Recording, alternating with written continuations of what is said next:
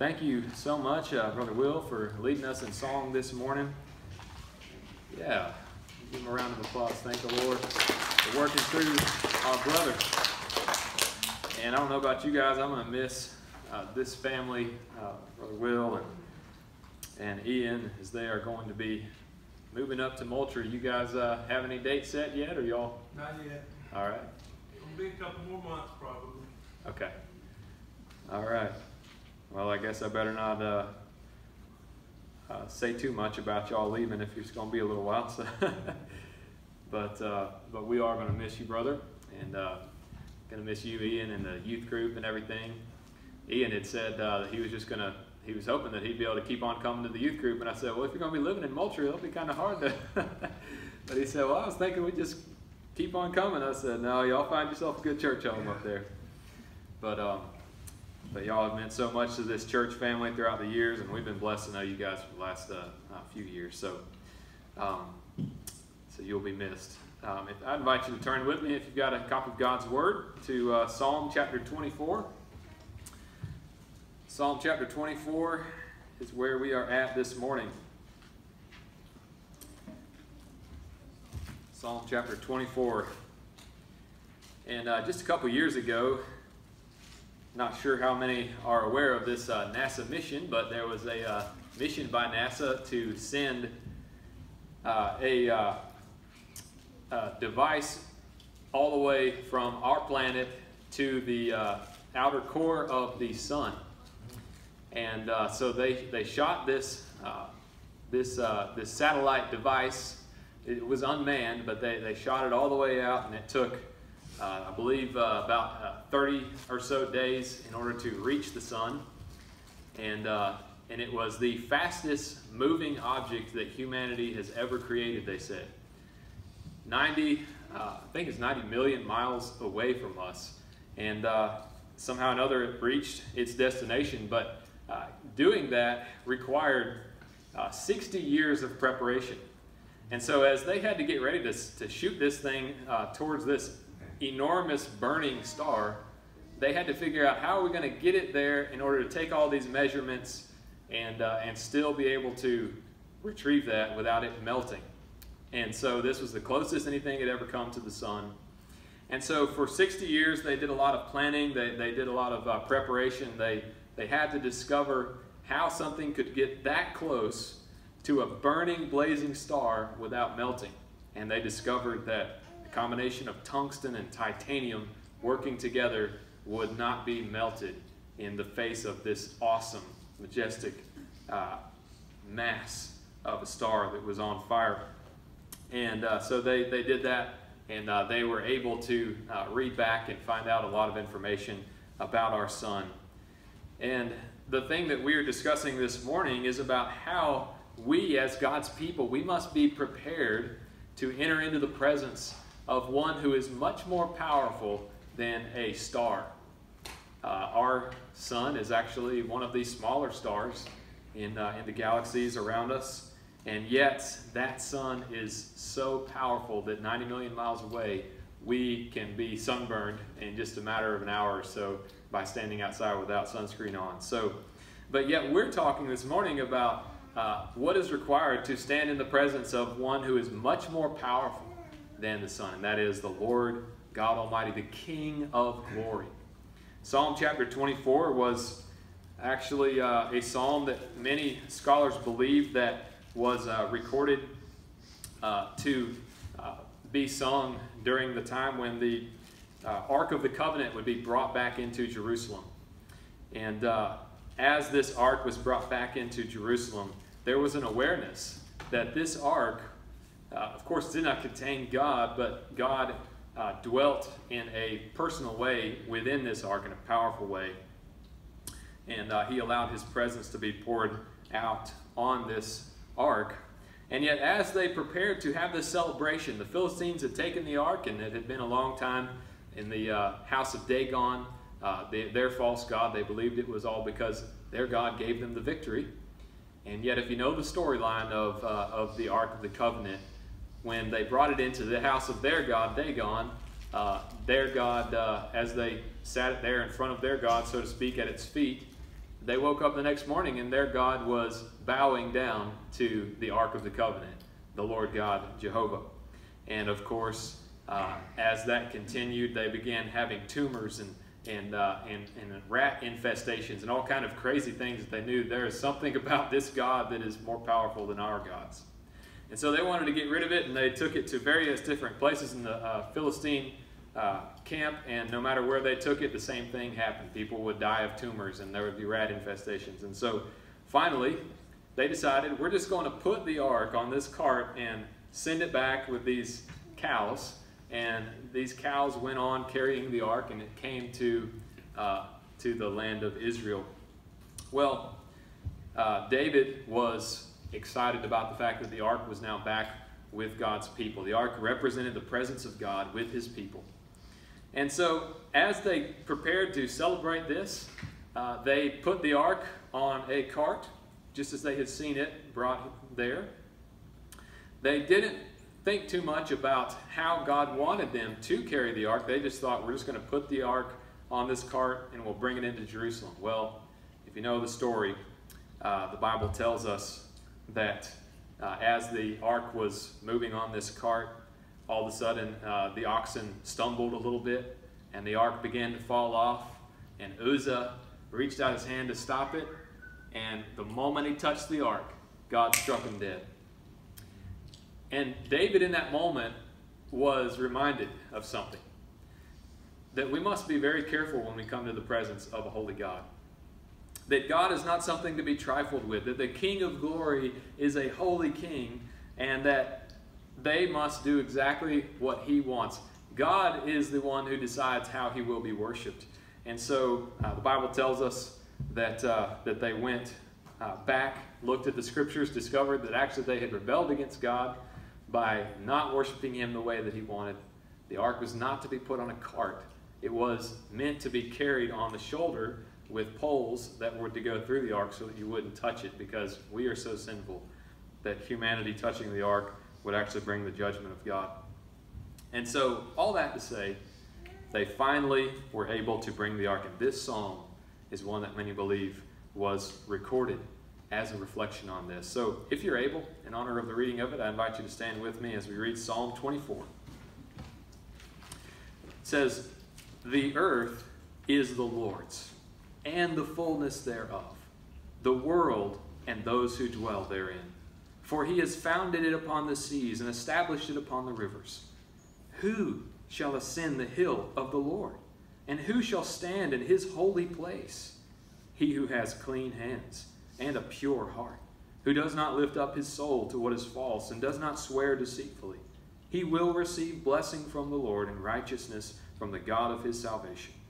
Such is the generation of those who seek him, who seek the face of the God of Jacob. Selah. Lift up your heads, O gates, and be lifted up, O ancient doors, that the King of glory may come in. Who is this King of glory? The Lord, strong and mighty, the Lord, mighty in battle. Lift up your heads, O gates, and lift them up, O ancient doors, that the King of glory may come in. Who is this King of glory? The Lord of hosts. He is the King of glory. Selah. Thank you. You may be seated. Let's pray. Our Father, we come to you, uh, Lord, just aware, just as Moses was when he approached your presence and you told him, Take off the shoes of your feet, for the place you are standing is holy ground. We are aware that we are standing in holy ground today, that we are sinners, that we are opening your holy word. Lord, we don't want to tamper with it. We don't want to twist it. Lord, we don't want to have a casual worship service this morning. We want to enter into the very presence of God, aware of the fact that it is only through faith in your Son, Jesus, that we are here. And God, that we would have that holy reverence that, uh, that David had of old. And Father God, that we would maintain this with our lives. Bless now the opening of your word, that you may be clearly exalted, and that your Son and his precious work may be made known more precious to us. In Jesus' name, amen. All right, so uh, this, uh, this psalm is all about that. How are we going to enter into the presence of someone who is so holy? How are we going to prepare ourselves to be able to come into the presence of a holy God? Uh, just as those uh, scientists had to figure out how are we going to get this satellite structure all the way into the presence of this blazing sun without it melting, so how are we going to prepare to enter into the presence of God? And uh, the scripture tells us right here that there is a certain lifestyle that, that must be accompanied those who come by faith in this King of glory. And so, with Father's Day here, I think it's good for us to take a look at, at really what a man of God and also a woman of God, uh, how they are to live in light of this amazing King. So, we see here that we must be a people of holiness whose lives welcome this amazing King of glory. First off, we're going to take a look in our passage at our approach to Him, the King of glory. And then, secondly, we'll see in the uh, second half of the passage His approach to us and what that means. So, first off, we see in verses 1 through 6, it's divided by that word Selah, and that is our approach to Him. How do we approach the King of glory? Well, first off, it must be one of humility. We must have a, an approach to Him that is humble. Just as Uzzah learned the hard way that you do not grab the very uh, ark that, re- that represents the presence of God. So we don't just uh, flippantly walk into the very presence of God, that we must realize who we are coming before. And the first thing God says in this psalm, in verse 1, is basically, I own the ground that you walk on. I own the ground you walk on, and I own you. He says, The earth is the Lord's and the fullness thereof, the world, and listen to this, and those who dwell therein. So God wants us to know that in order to approach Him, you've got to come humbly. The Bible does tell us that one day, one day every knee will bow and every tongue confess. And that is because He is a God who is to be worshiped. So this psalm begins with God and His rightful ownership of everything. He owns us by virtue of creating us.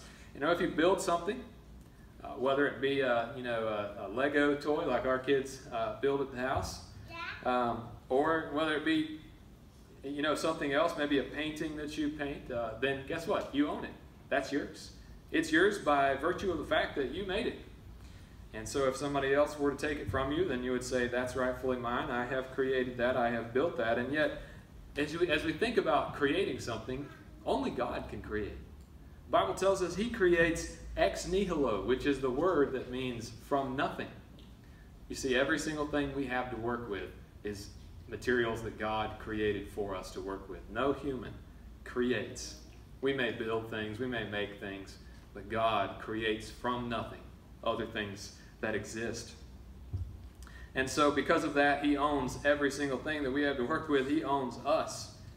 Inventors may patent things to protect themselves from uh, others stealing their ideas. Uh, but God owns all the copyrights in all the universe, doesn't He? He owns everything. There's nothing under the starry sky that isn't His. There's no black hole in deep space. There's no quasar out there that isn't His. It is all His. And it is all His by amazing creative decree. I love what Psalm 50 says. Verse 12. If I were hungry, God says, I would not tell you, for the world and all its fullness are mine. We know that passage that says in Psalm 50, the cattle on a thousand hill. He owns them all. Psalm 60, listen to this. David describes God. God's as if it's as if God's dividing up what he owns, and he says this. Uh, Gilead is mine, Manasseh is mine, Ephraim is my helmet, Judah is my scepter, Moab is my wash basin. Upon Edom I cast my shoe, over Philistia I shout in triumph. It's like God is saying, hmm, all right, let's see what's mine and let's see what's yours. Let's divide this thing up. This is mine, this is mine, this is mine, this is mine. Oh, wait, it's all mine. you own nothing, not even yourself, God says. Now, parents throughout the generations like to remind their children of this when they get into that entitled mindset. Hey, don't forget that I own that car and I own whatever money is in your account, that I own the bed that you sleep on, that I own the food that you eat, that I own the house that you live under this roof. Why do they say this to their children?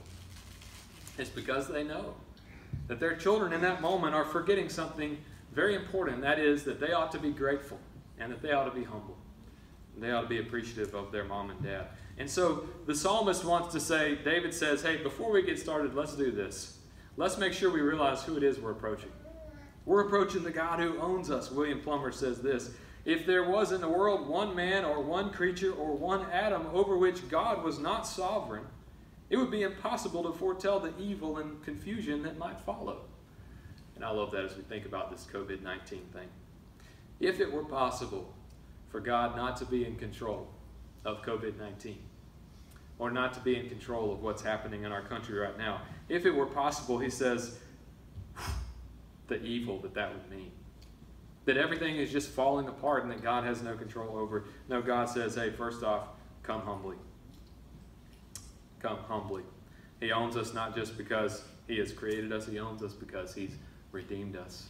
The Bible says in 1 Corinthians 6 19 through 20, You are not your own, for you were bought with a price.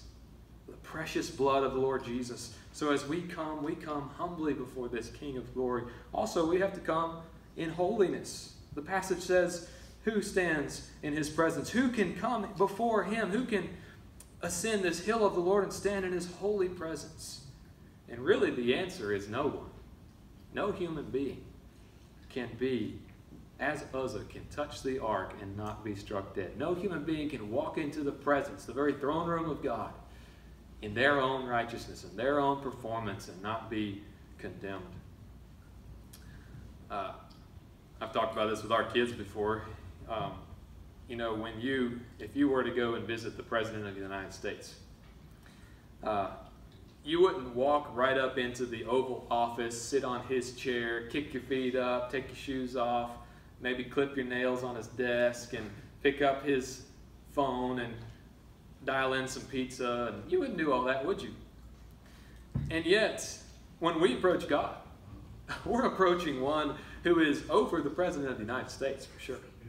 We are approaching one who is higher than any authority. He is actually the King of kings and the Lord of all lords. The one who raises kingdoms and lowers kingdoms. The one who has put all authorities in their places. The one to whom all authorities are going to one day bow and give reverence. And so approaching this God calls for holiness. Holiness. So we must be men and women of holiness as we come into the presence of this God. Let's go back to Psalm 15. If you will turn there with me, and let's just look at that because it is very closely connected. He says in Psalm 15, O Lord, who shall sojourn in your holy tent, in your tent, excuse me? Who shall dwell on your holy hill? He who walks blamelessly and does what is right, and speaks truth in his heart he who does not slander with his tongue, and does no evil to his neighbor, nor takes up a reproach against his friend, in whose eyes a vile person is despised, but who honors those who fear the Lord, who swears to his own hurt, and does not change, who does not put out his money at interest, and does not take a bribe against the innocent. He who does these things shall never be moved. So, Psalm 24 is actually Psalm 15 in a shorter version. And, and I mean, Psalm uh, 24, verse 4 is, is really Psalm 15 in a shorter version. As a matter of fact, William Plumer says this Perhaps no verse of Holy Scripture in so few words, right here in verse 4 of our Psalm, Psalm 24. Perhaps no verse of Holy Scripture in so few words more clearly delineates the character of a real saint. Such a man shall be saved. Wow, what a blessing we have here, the kind of individual that God blesses right here. It is one who is walking in holiness. Hebrews 12 14 tells us, Strive for peace with everyone and for the holiness, listen to this, without which no one will see the Lord. And so let's take a look at this holiness. He says, Clean hands and a pure heart. If we stopped right there, then we could tell that it was both uh, that is describing both external holiness, clean hands, our actions, and internal holiness, clean hearts, pure hearts, which is our motives. So we may be able to keep certain laws externally, but the scripture says if you want to come in the presence of the most holy King of glory, then you have to be pure not only on the outside, in your actions, but on the inside. On the inside. James 2.10 tells us, if you keep the whole law externally, and he says, and yet stumble at one point, you're guilty of breaking all of them. Wow, this is powerful. Jesus said that if you could keep all of those external laws, just like the Pharisees, boy, they tried as hard as they could to keep all those external laws. He says, if you did all of that, it still wouldn't be good enough. You still wouldn't be the one Psalm 4 is talk, Psalm uh, 24 4 is talking about here. Listen to what Jesus says. Unless your righteousness exceeds that of the scribes and Pharisees, you will in no wise enter the kingdom of heaven. All right. So happy Father's Day. We are all condemned. How is that good news for us on Father's Day? Well, it's good news for us because God never intended His law to, to be for us the means by which we could approach Him in our perfect holy life. You see, if God gave us a law and said, here's how you can approach me, be this sort of a person, and He expected us to actually be able to carry that out, then that would mean we would not need Jesus. Jesus would never have needed to die. Paul actually says this in Galatians chapter 3. He says, If God had made a law that could save you by means of your performance, and you could be okay coming into the presence of a holy God because you're trying as hard as you can to be, you know, clean hands and a pure heart, and you're that kind of a man. Uh, if a law was possible to save you that way, Galatians 3 says, then Christ would have not needed to die. There would have been no purpose in Jesus coming if we could save ourselves. So, the scripture tells us that we're not capable of doing this. So, when Jesus comes on the scene, many think that he makes the law a little bit easier for us to follow and says, oh, just love others and you'll be good. That's not what Jesus said, actually, is it? Jesus, when he came on the scene, he stood on the mount just as Moses stood on the mount. He gave the law just as Moses gave the law. And yet he said this You know what? He said, murder, when it says you shall not murder, it doesn't mean just don't physically kill someone. He says, if you even call your brother fool, then you're a murderer. Jesus said, when it said do not commit adultery, it didn't mean don't go out and actually commit the physical act of adultery with, with uh, someone else's spouse. It meant that even if you have lust in your heart towards another person, then you've committed adultery already. You see what Jesus is doing here? He's trying to say, you want to live by Psalm 24? All right, here, let me press it home. Be absolutely, wholeheartedly pure in your thoughts and, and never, ever, ever sin. Wait, wait. Are you trying to tell me that Psalm 24 is here for us to tell us that we could never be perfect? Then why is it uh, telling us the kind of character to enter into the presence of God? It's because the scriptures have one clear message from Genesis to Revelation, and it is that God is a holy God and that God demands perfect holiness. And if we want to approach a holy God, we must come not with our sins and flaws, but we must come through the perfect holiness of God. How do we do that? The scripture is very clear. We cannot. God's standards are so high that no human being could ever attain them. And yet there is one human being who did attain those. And that is the one through whom we come. We come by means of one who had clean hands and a pure heart, one who was absolutely on the outside and on the inside, totally sinless and. We come before God through his son Jesus, through faith in his son Jesus, and we are accepted. Because on our own we cannot. Just to drive the nail into the coffin a little more of our human effort, the same Bible which says, here's the standard, be holy, externally and internally, is the same Bible that says this we all fall hopelessly short.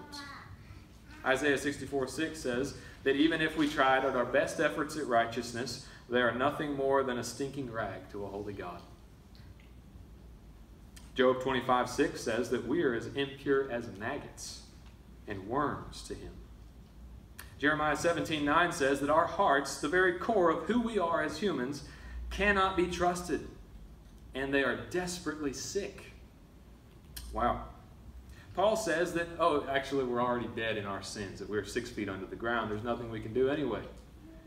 Because everything we do is from a heart that is distanced from God, that doesn't know God. So the scripture is wanting to make it impossibly hard for you to be a good person. Because what good means is perfect. And there's none who is that. Why is the Bible doing this? Here's the standard, everybody be perfect. Oh, wait, you can't. Matter of fact, your best efforts stink to high heavens. Is God just waving some impossible demand in front of us and taunting us by saying, you know what, you'll never actually achieve this? Is there any hope for us to be truly holy, to come into His presence? Well, this is the rock bottom purpose of the entire Bible. God demands a righteousness that we cannot attain. Why? To answer that question is to answer what the Bible is all about. God demands a righteousness that we cannot attain. And why is that? It is so that we will fix our eyes to the heavens and long for the Redeemer who will perform his perfect righteousness on our behalf and will take all of the sins that we've committed and plunge them underneath the depths of the sea. How is God going to do that? Through the Lord Jesus Christ. So, Psalm 24 is a messianic psalm. I like what Phil Johnson has said about it. Psalm 22 is about the cross, Psalm 23 is about the Good Shepherd. We know that's none other than the Lord Jesus Christ. Psalm 24 is about the King of glory. We know that's none other than the Messiah himself. David was not simply telling us how we could clean ourselves up and prepare to enter into uh, this presence of a God. He was trying to tell us that there is no way unless the King of glory himself comes down. God says, Here is the standard perfect holiness. You want to approach me, then you must be absolutely perfect. And if you, like Uzzah, even dare to stand in my presence on your own, then you'll die, just like him. But then he says, But here's my son, Jesus. He kept my law for you. He died as your substitute. He rose for your justification. Hope in him. And God should have killed us like he killed Uzzah uh, for even daring to try to live in, in, his presence. And yet what God did was he said, I'll kill my only beloved son in your place. Isaiah 53:10, it was the will of the Lord to crush him. Who? The servant of the Lord, the Messiah, the one who would be crucified. This was all God's perfect plan. Acts chapter 2 says this was God's predetermined will that by means of his son going to the cross, sinners would be redeemed. So, who can ascend the hill of the Lord? Who can stand in his holy place? Only those who come by the blood of the Lord Jesus Christ. I like what the author of Hebrews says. Let us then with confidence draw near to the throne of grace. You say, wait, wait, wait, we can't draw near. There's no way I could draw. God would kill me if I draw. No, no. You draw near by the blood of Jesus. He says, And now that you are a child of God, trusting in the blood of Jesus, then you draw near with confidence that you may receive mercy and find grace in time of need. So, wait a second, Austin. Are you telling us that, uh, that we have to pursue holiness or that we don't have to pursue holiness anymore because Jesus is our holiness, He is our righteousness, and we don't really have to actually try to be holy. Like it says, clean hands and a pure heart, you know that Jesus did that, we're good to go. We don't actually have to be holy anymore. Not at all. All who trust in Christ and who are born again by the Spirit, they do pursue holiness. And they have the power, as David had the power, even though the Spirit of God hadn't been poured out in the same way, David was trusting in the one who was to come. He was trusting in the Messiah. Didn't know who that was going to be. He asked, Who is the King of Glory? Who's the King of Glory? I don't know who the King of Glory is. We know his name is Jesus, David. And yet David says, I'm trusting, I'm coming by means of faith in God's promise of the Messiah. And he is able to approach. Those who are truly born again do not live in sin, they pursue righteousness. You see what God does? He comes on the inside and he changes our hearts. And then when he changes us internally, then he also changes us externally. We become living vessels of worship and praise to him. So we must come as men and women of God, humble and holy, and uh, we can come in hope. We can come in hope. The verse 5. Our next point is not going to be as long as this, by the way, but verse 5 says, He will receive blessing and righteousness from the God of his salvation. There is no sweeter verse right here in this psalm than verse 5. He or she who comes by means of the Lord Jesus Christ, who is perfectly righteous, will receive blessing from the Lord and righteousness from the God of his salvation. Underline that words, those words, will receive. Will receive. We don't present these efforts of righteousness to God one day and say, Here's my righteous life, God. I've lived it for you. No, he says, You must receive righteousness. In other words, you want to come with your righteousness, then it, won't be good enough. It'll be filthy rags and you'll be struck dead. If you come receiving my righteousness, I'm the God of salvation. I will give you that righteousness. We have a God who gives righteousness to those who are willing to receive it. Maybe you're here this morning and you have been trying to perform your own righteousness and trying to be a better person and trying to uh, go to church a little more and trying to uh, maybe help out in this way or that way and, and, and trying to be better. Uh, he says, no, no, no, you, you're, you're trying to present a righteousness instead of receiving God's righteousness. Romans chapter 10 said that was the entire reason why the Israel uh, why Israel rejected Jesus. It is because they tried to work up and merit their own righteousness instead of trusting in His righteousness. So the psalm goes on to tell us this is the generation of those who seek Him. This is the true Jacob. Is the uh, is the actual is the real meaning there. He says the true God, the, seek the face of the God. This is the true people of God. The true people of God are those who walk in this holy lifestyle. Those who do not lift up their soul to literally what is vanities, who don't swear deceitfully. These are people who have been changed as they have been beholding His glory. So, this is all our approach to Him. In just a couple minutes, we'll close with His approach to us. So, we know that when we come before this King, we must come as needy beggars we must acknowledge our spiritual bankruptcy, and we must come receiving a righteousness that we don't have. Well, what should be our response when the king comes to us, when he approaches us?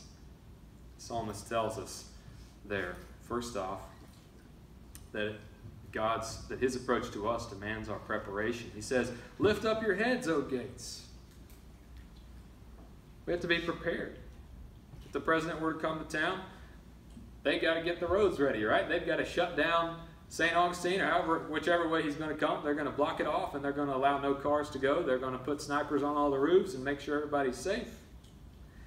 And they're going to level anything that is unlevel. If there is one pothole on St. Augustine, it will be filled before the President of the United States shows up, right? There will be nothing going on, and the motorcade will arrive with everything shut down. And so it is when Jesus shows up on the scene. Jesus showed up on the scene, and John the Baptist, what did he say? Prepare the way of the Lord. How did he prepare? He said, Repent. Repent, for the King of heaven is coming. Turn your hearts to him.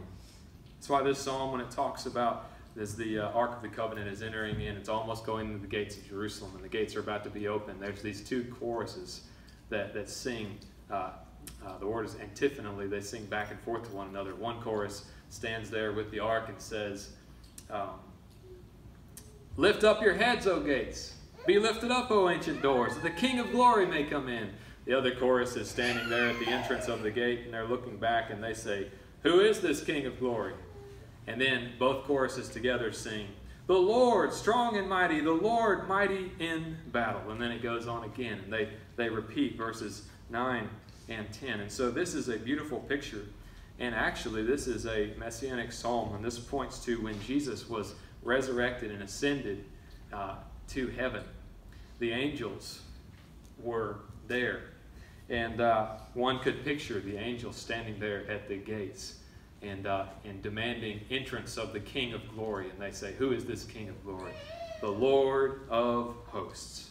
He is the King of glory. And Jesus is ushered in, and the Bible says that he sat down there on the throne as one who sits in accomplished victory. He had purchased our salvation, and now he sits reigning and ruling from his heavenly throne.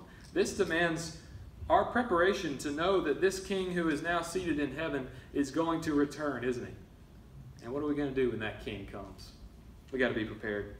He says, Lift up your heads, O gates. Hey, we have to be prepared. You know, uh, we've got a, uh, a thief in our neighborhood, uh, somebody who's around our neighborhood, and uh, every few days we hear from somebody right down from us who's gotten their car broken into, somebody stealing a bunch of stuff. And Well, the thing about a thief is, uh, you know, how do you prepare for a thief? Jesus said when he comes, he's going to come like a thief in the night. How do you prepare for a thief? Well, you have to actually, the, the thief's going to show up, you know, under cover of darkness, and, uh, you know, he's going to randomly uh, break into cars and random nights. And uh, so what, he's, what you have to do is you have to actually stay awake all night and be watchful and be ready. Jesus said, he's coming like a thief. And he said, spiritually, don't let your guard down. Be watchful. Be men and women of God who are ready for his return. He says, be like those, those ten wise virgins, not the ten foolish virgins that Jesus gave the parable about, where he said, you know, the, the ten wise ones, they had their oil ready, they had their lamps, their, the, uh, the wicks on their lamps were ready, and they were, they were ready to light them at any moment so that when he showed up, they were ready. And the ten foolish virgins, they said, hey, can we borrow some of the oil? We didn't bring enough oil. And he says, no. They weren't allowed. He came at a time when they weren't expecting it.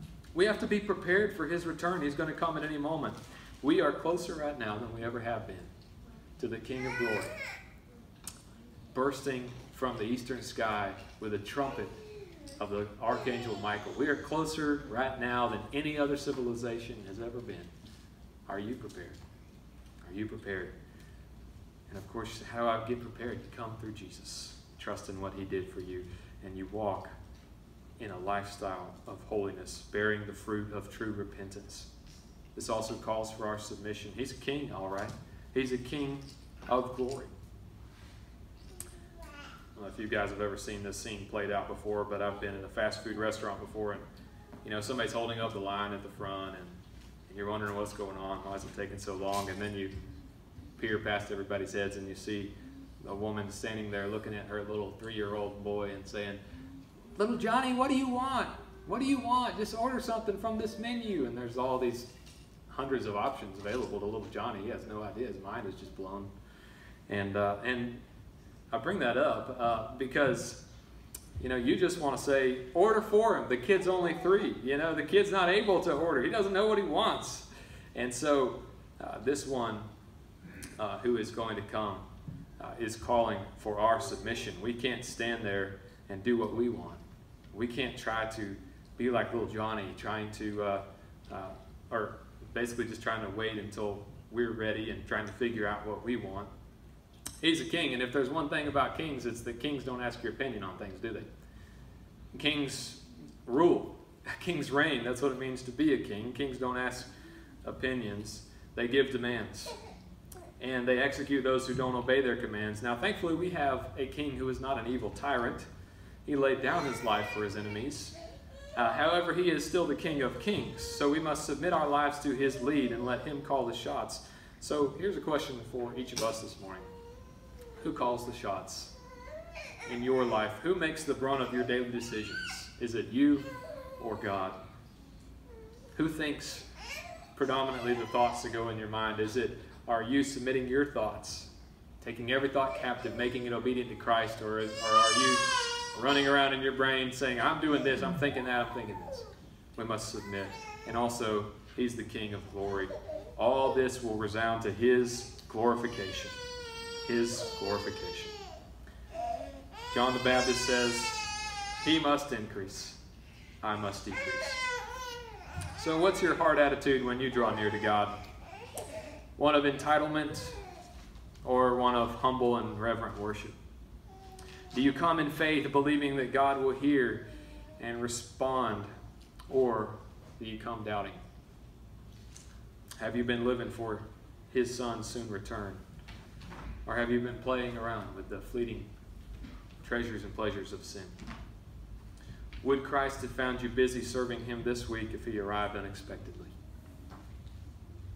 And would others who see you most say that He is King of your life or that you are King of your life? These are questions for each of us to consider and to remember. The only reason we, as sinners, can approach this God through prayer, the study of His Word, and corporate worship when we gather together, the only reason is because He owns it all and He has purchased our redemption through His Son's precious blood. And we come not hoping in our own righteousness, but hoping in His. And that and that alone is the way that we can approach such an amazing King of glory. So let's uh, close out with a word prayer. Father, thank you, God, so much for not only demanding perfection, but then providing what you demand. Thank you for Jesus. Thank you for the righteousness that he lived for us. God, help us as uh, sinners to acknowledge that we are not who we need to be and to continue to come by repentance and faith in Jesus. Lord, help us all to be trusting in the blood of Jesus alone. And Lord, help us to draw near with confidence to the throne of grace that we may receive mercy and grace in time of need. We pray this all in Christ's name.